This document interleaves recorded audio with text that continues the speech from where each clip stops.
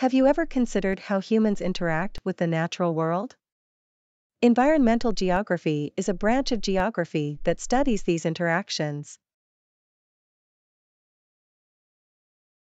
By understanding the spatial aspects of these interactions, we can make informed decisions about resource management and conservation.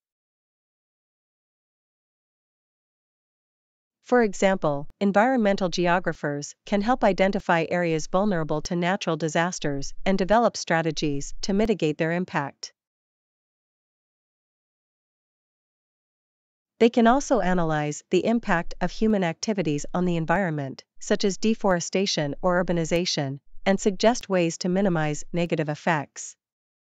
By considering the spatial aspects of these interactions, we can make more informed decisions about our impact on the environment.